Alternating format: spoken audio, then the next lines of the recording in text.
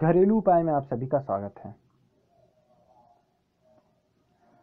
आज का जो टॉपिक लेकर आया हूँ, अगर इससे आप दिवाली की रात को करते हैं तो अचूक लाभ मिलते हैं।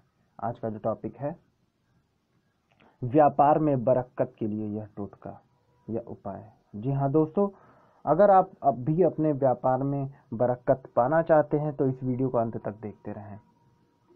लेकिन इससे पहले मैं आपको बता दूँ, अगर आपने हमारा यूट्यूब चैनल घरेलू उपाय अभी तक सब्सक्राइब नहीं किया तो इसे तुरंत सब्सक्राइब करें, क्योंकि इस चैनल पर हम आपके लिए ऐसे नुस्खे, ऐसे टिप्स और ऐसे उपाय लेकर आते रहते हैं जो आपके जीवन को सरल और सुखमय बनाने में बहुत ही कारगर साबित होते हैं। तो दोस्तों, हमारे यूट्यूब चैनल घरेलू उपाय तुरंत सब्सक्राइब कर लें। आते हैं अपने टॉपिक पर। व्यापार में बरकत के लिए यह टोटका या यह उपाय। दिवाली की रात को व्यापारीगण अपने दुकान प्रतिष्ठान पर पूजा करते, करने जाते समय शुद्ध केसर मिला, मीठा दही खाकर घर से निकले।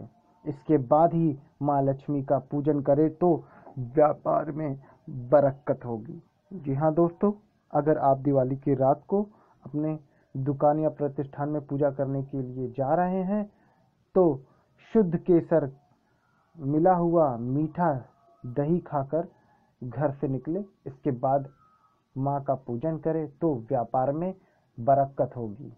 जी हाँ दोस्तों, अगर आप भी ऐसा लाभ करते हैं तो आपके भी व्यापार में बरकत होगी। और दोस्तों, ध्यान रखें, अगर इस टोटके को आपने दिवाली की रात किया तो इसका अचूक लाभ मिलेगा।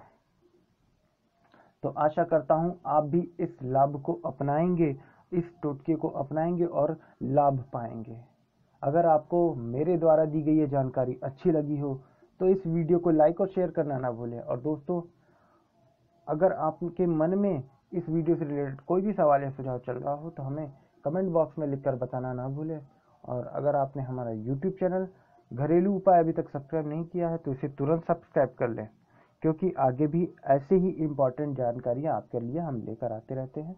मिलते हैं अगले वीडियो में। तब तक के लिए नमस्कार दोस्तों।